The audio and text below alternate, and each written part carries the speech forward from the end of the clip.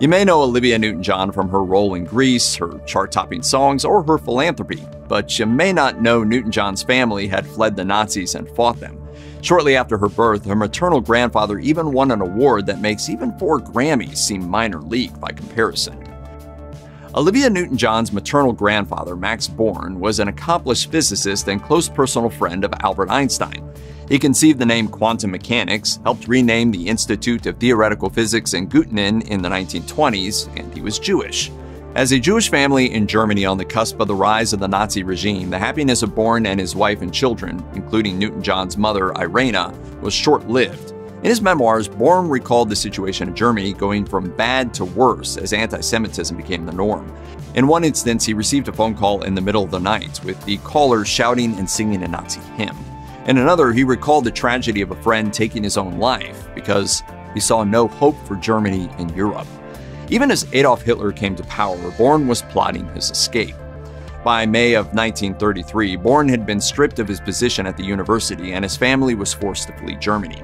He later wrote in his memoirs All I had built up in Göttingen during 12 years' hard work was shattered. It seemed to me like the end of the world.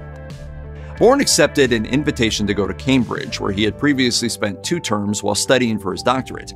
According to his son Gustav, writing for the University of Göttingen, these years were instrumental in the family's decision to move to Cambridge when they were driven from their homes. He wrote, It determined our family becoming British instead of French, Russian, American, or Turkish, all through offers of jobs he received from these countries. Born didn't return to Germany until 1954, by which time he had already contributed considerable further work in quantum mechanics, solid state physics, and optics. That same year, he won the Nobel Prize in Physics for his fundamental research in quantum mechanics, especially for his statistical interpretation of wave function. According to Olivia Newton John's autobiography, Don't Stop Believing, Max Born's eldest daughter, Irena, fell in love with Cambridge when she was transfixed by the sound of a man singing. Newton John later wrote, she actually followed the voice. Mom always said she fell in love with the voice before she even saw him. The him was Olivia's father, Brinley Bryn Newton John, who was a student at Cambridge at the time. Like many members of Olivia's musically gifted family, her grandfather Max Born was also an accomplished pianist. Bryn was already an accomplished singer when he met his first wife. Olivia Newton John's parents were married in 1937, and Bryn Newton John was commissioned into the Royal Air Force by 1940, keeping him away from home much of the time, including for the births of Olivia's two older siblings.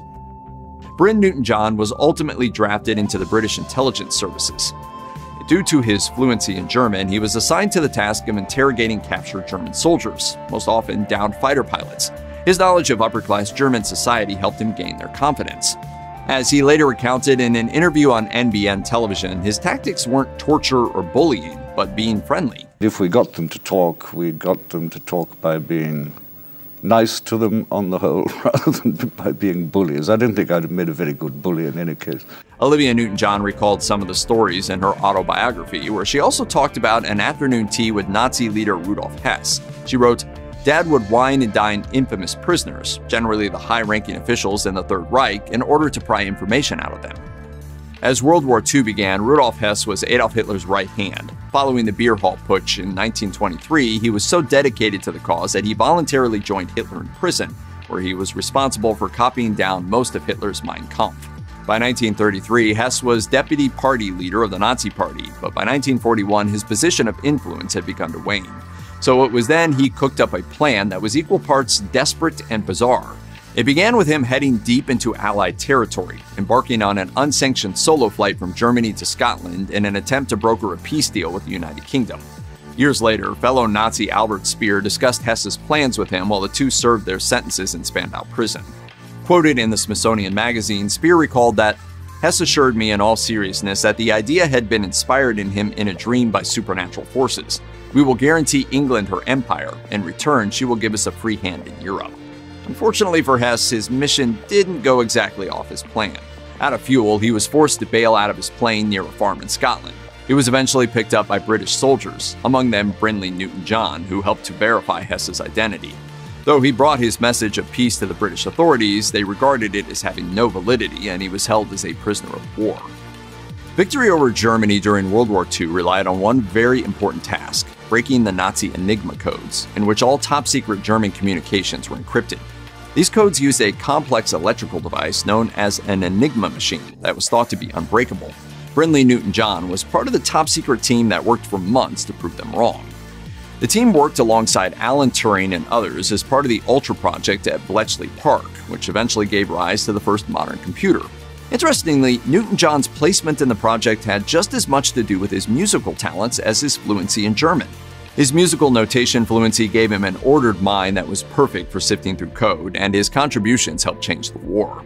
Years later, Newton John would call his work with Ultra the most significant contribution he made to the war effort.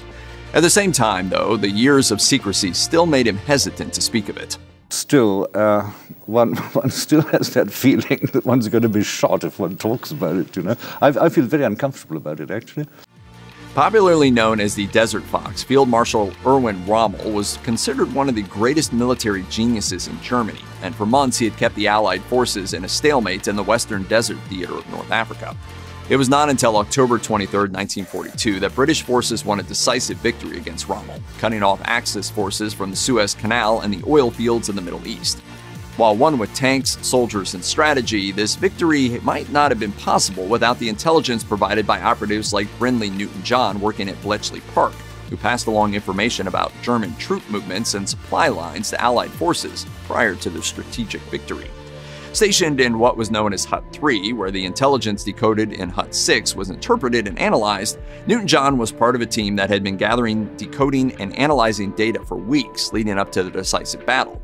It was the intelligence that helped to turn the tide against the infamous German tactician.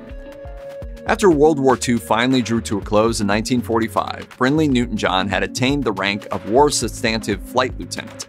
Not interested in pursuing a further career in the armed forces, he instead resumed the one that the war had interrupted, working as headmaster of the Cambridgeshire High School for Boys until 1954.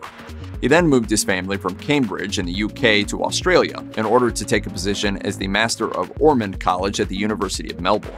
Olivia Newton John was just six years old at the time, and unfortunately, his marriage to Irena Born could not survive the rigors of both the war and the move to Australia. Within just a few short years, it had broken up, leaving Irena to raise Olivia as a single mother. Over the next few decades, Bryn carved out an impressive career in academia, and by the time of his 1980 interview with Ron Hurst, he had served as Deputy Vice Chancellor of the University of Newcastle.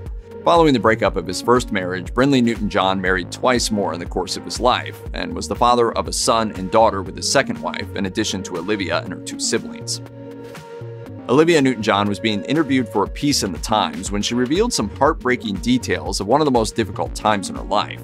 At the same time she received confirmation of her own diagnosis of breast cancer, her father was dying of liver cancer. Even as she was getting the results and hearing the news about her father, she was preparing to embark on a world tour. Brinley Newton John died in 1992 at the age of 78, and years later, this experience helped motivate his daughter to open the Olivia Newton John Cancer Wellness and Research Center, the facility is not only involved in research, clinical trials, and patient treatments, but also in additional programs designed to treat the mind and soul as well as the body, such as art and music therapy. I believe and I dream that we'll see an end to cancer in my lifetime. She wrote in her autobiography It had snuck up on him and the entire family. One day he was reading the paper and sipping his coffee, and the next day, barely able to speak. In my heart, I knew I would never see my father again, and I was right. Check out one of our newest videos right here. Plus, even more grunge videos about overlooked episodes and history are coming soon. Subscribe to our YouTube channel and hit the bell so you don't miss a single one.